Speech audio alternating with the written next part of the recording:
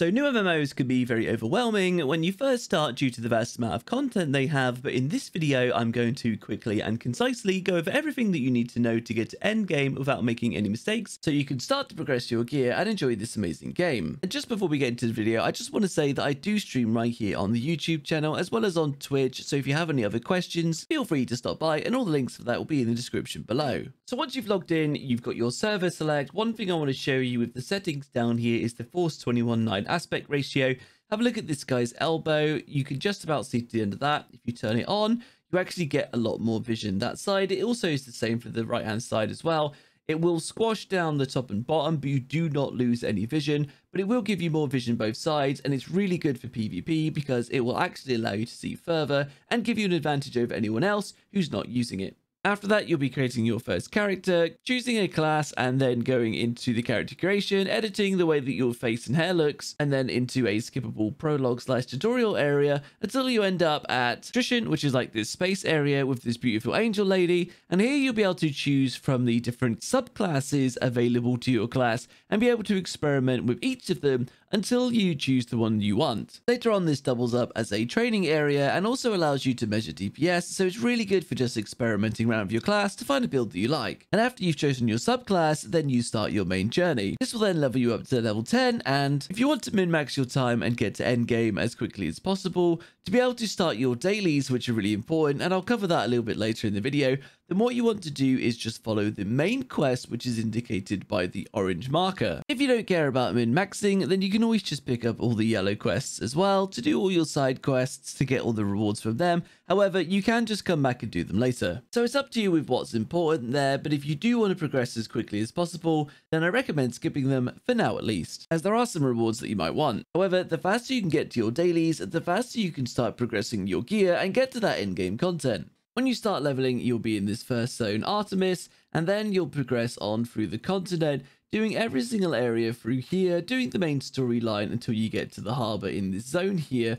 You'll then go up to this island, followed up to this continent, still doing the main story, until you reach this continent here called Arthetine. Once you're in there, you want to do every single quest, including all the side quests. Otherwise, by the time you get to Burn Castle, which is where you need to be to start your dailies, then you won't be level 50 and you won't be able to do it, and you'll just have to backtrack anyway. Using this method, the world record to get to level 50 is just under about 10 hours, However, for most people speedrunning it through, it's probably going to be somewhere between 15 to 20 hours, depending on how quickly you can just push through. Another thing of note is when you reach this harbor here, the main quest does actually change from orange to blue, so then you'll be following a blue story quest, as well as unlocking your first boat, which is what will allow you to travel between the continents. As you are leveling though, you'll also gain skill points and these can be put into any skills that you like if you just press K and bring up the menu. Down in the bottom left, you'll be able to click a reset button to be able to reset your skills completely for no cost. So feel free to experiment with what you like.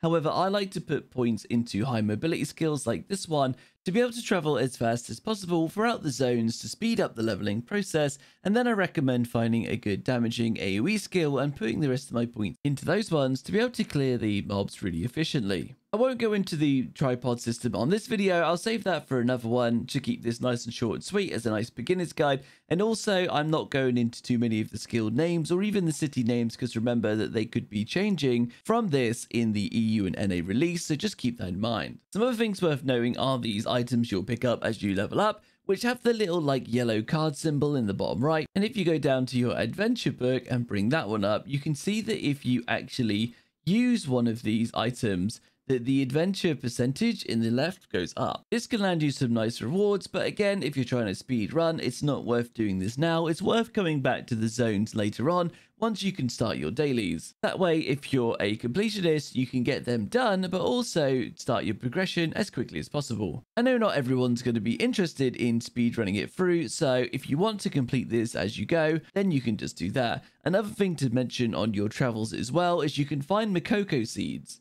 Now these are little plants that are scattered all throughout the game and once you've collected a certain amount of them you're able to collect rewards such as the ability to actually transform into a Mokoko seed and move around. It's quite cute, it's quite funny But once you've collected one, it actually unlocks that specific one for that server account wide. And to be able to collect the rewards, you need to go to this island, to Mokoko village, and then the NPC up here, and you'll meet him in your main story anyway. I've also got loads of useful links, like the location of all the Mokoko seeds in our community Discord, and link for that again will be in the description, as well as information for an EU guild that I'll be creating as I'm in the UK. But let's carry on. So next up, you've got your equipment here, and if you see the blue blue arrow in the bottom right as you're leveling up. That means the equipment is better, so go ahead and equip that. And also the old equipment that you're no longer using, you can press the dismantle button here, click it across by right clicking, and then just dismantle that down you'll get a few little pieces of like dust etc which you just sell to the vendor for a little bit of silver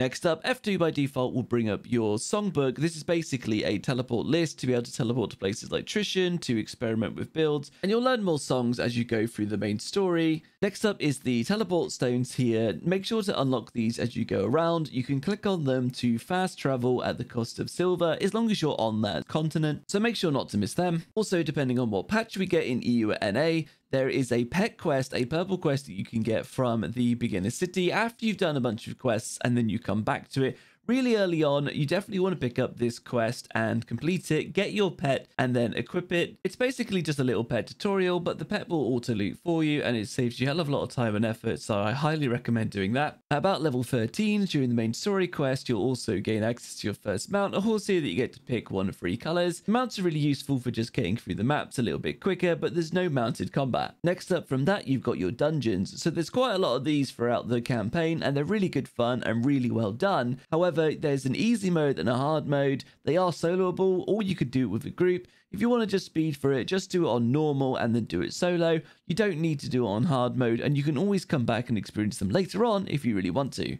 Another good thing to note, for example, here is I can skip these enemies and just destroy that barrel to go through. You don't always need to kill all the enemies in certain areas to be able to progress if you want to do it faster. There's also player housing in the game, which is basically your own instance personal island, which you get to decorate how you like, but there's also some nice functionality here, like the ability to be able to level up alt characters AFK. But again, I won't go into too much detail in this video. And one of my favorite parts about Lost Ark is the PvP.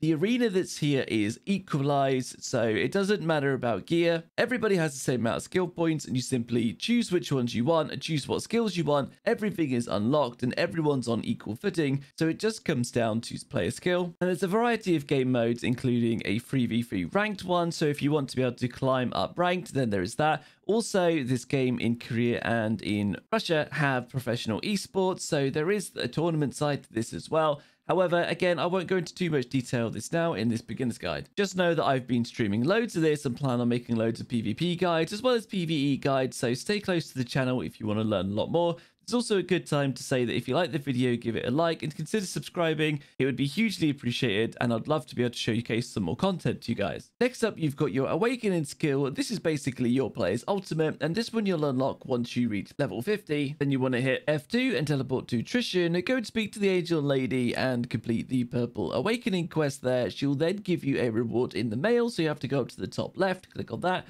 accept the gem, use the gem in your inventory and then it will unlock your awakening. Next up, we have life skills. Now, life skills are obtained here in this area from this village. Once you get here, just do this instance bit to unlock the village and then you have to do a few main story quests here. And then eventually the main story quest will have you talk to this dwarven guy here and then he will unlock the life skills, which will allow you to do things like mining, fishing, lumbering, etc. Again, I'll make another video on this. I'm not going to go into all the details now, but you can go to the NPC right next to him and buy some beginning tools. It's a good way to make some money. You can sell some stuff on the auction house, but again, I'll explain that in another video. There's also a cash shop in the game that will allow you to purchase a large range of things. However, I won't go into the details of this because we're not sure on the cash shop that we're going to get when the game comes out in EU and NA.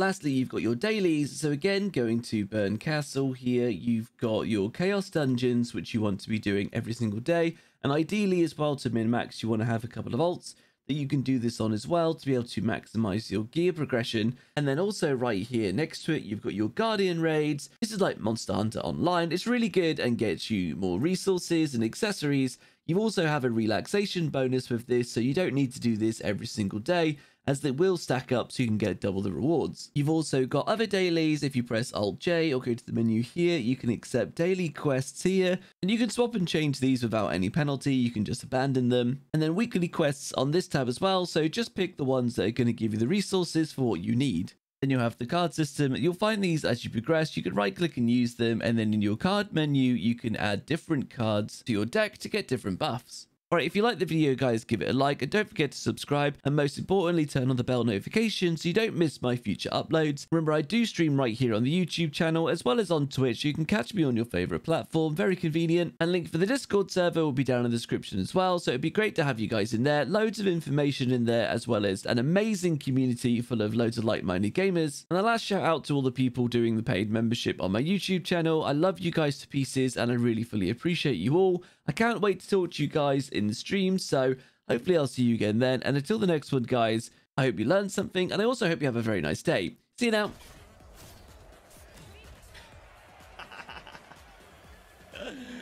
okay, that felt amazing. That felt really, really good.